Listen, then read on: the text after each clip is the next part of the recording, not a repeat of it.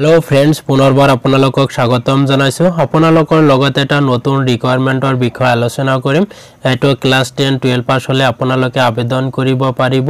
আৰু ইয়াত আপুনি চাব পাৰে ডিপাৰ্টমেণ্ট নেম এইটো ইণ্ডিয়ান পোষ্টেল ডিপাৰ্টমেণ্ট হয়। ভেকেঞ্চিজ আছে আপোনাৰ ninety eight thousand three hundred eighty three post আছে। আৰু post name postmen mail guards and M T S আৰু আবেদন অনলাইনতে কৰিব পাৰিব। তাৰপিছত আপোনাৰ কিমান কোনটোত কিমান পোষ্ট আছে? পোষ্টমেনৰ আছে আপোনাৰ fifty nine thousand ninety nine post M T এছৰ আছে thirty seven thousand five hundred mail গাৰ্ডছৰ আছে আপোনাৰ fourteen hundred forty five post আছে আৰু ইলিজিবিলিটি আপোনাৰ কি কি লাগিব? এজটো আপোনাৰ এজ লিমিটটো আপুনি চাব পাৰে এইটো আপোনাৰ আঠাৰ বছৰৰ পৰা সাতাইছ বছৰৰ হ'ব লাগিব আৰু কিছুমান কেটাগৰী ৱাইজ এজ ৰিলেক্সেশ্যন দিয়া আছে আৰু আপোনালোকে ফিজটো চাব পাৰে। এইটো জেনেৰেলৰ কাৰণে হাণ্ড্ৰেড ৰুপিজ ই ডাব্লিউ এছৰ হাণ্ড্ৰেড ৰুপিজ অ' বি চিৰ কাৰণে hundred rupees S T S C women এইবিলাকৰ কাৰণে আপোনাৰ এইটো কেটাগৰীৰ কাৰণে ফিজ নালাগে।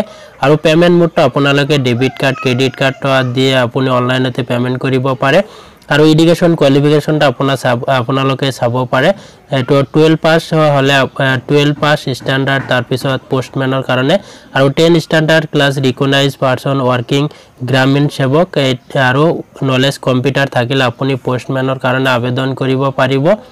আৰু মেইল গাৰ্ডছৰ কাৰণে টুৱেলভ ষ্টেণ্ডাৰ্ড ৰিকগনাইজ পাছ হ'ব লাগিব। তাৰপৰা টেন ষ্টেণ্ডাৰ্ড এইকেইটা আপোনাৰ ৱৰ্কিং গ্ৰামীণ সেৱক হ'লে আপোনালোকে আবেদন কৰিব পাৰে আৰু ৱৰ্কিং কম্পিউটাৰ নলেজ থকা হ'ব লাগিব। তাৰপিছত আহিল এম টি এছ পষ্টৰ কাৰণে টেন ষ্টেণ্ডাৰ্ড হ'লে আপোনালোকে আবেদন কৰিব পাৰে। তাৰপিছত অসমৰ কাৰণে আপুনি চাব পাৰে। এইটো পষ্টমেনৰ কাৰণে আছে আপোনাৰ নাইন হাণ্ড্ৰেড থাৰ্টি পষ্ট আৰু এম টি এছৰ আছে seven hundred forty seven post আৰু বেলেগ বেলেগ ষ্টৰৰ আপোনাৰ দিয়া আছে আপুনি চাব পাৰে। আৰু তলত আহিলে আপুনি চাব পাৰিব এইটো আপোনাৰ চিলেকশ্যন প্ৰক্ৰিয়াটো। এইটো আপোনাৰ ৰিটেন এক্সাম হ'ব। এইটো আপোনাৰ ৰিটেন এক্সাম হ'ব document verification and medical examination হ'ব। এইটো আপুনি অনলাইনতে আবেদন কৰিব পাৰে।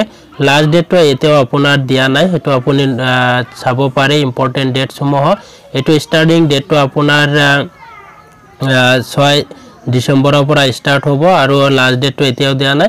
এম টি এছটো আপোনাৰ পাঁচ জানুৱাৰীৰ পৰা ষ্টাৰ্ট হ'ব আৰু মেইল গাৰ্ডটো আপোনাৰ ছয় ডিচেম্বৰৰ পৰা ষ্টাৰ্ট হ'ব আপোনালোকে আবেদন কৰিব পাৰিব।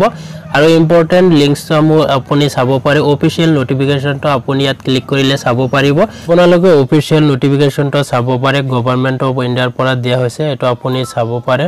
নটিফিকেশ্যনটো এইটো নটিফিকেশ্যন হয় এইটো আপোনাৰ সম্পূৰ্ণখিনি দিয়া আছে আপুনি নটিফিকেশ্যনটো পঢ়িব পাৰে। আৰু অফিচিয়েল নটিফিকেশ্যনটো আপোনালোকক ভিডিঅ' ডিছক্ৰিপশ্যনত দি দিম আপোনালোকৰ সুবিধাৰ্থৰ কাৰণে। আৰু ভিডিঅ'টো যিমান পাৰে আপোনাৰ বন্ধু বান্ধৱীলৈ শ্বেয়াৰ কৰি দিব যাতে সকলোৱে আপডেটটো জানিব পাৰে। আৰু যিসকল ইলিজিবল কেণ্ডিডেট আছে সেইসকল কেণ্ডিডেটে যাতে আবেদন কৰিব পাৰে। Thank U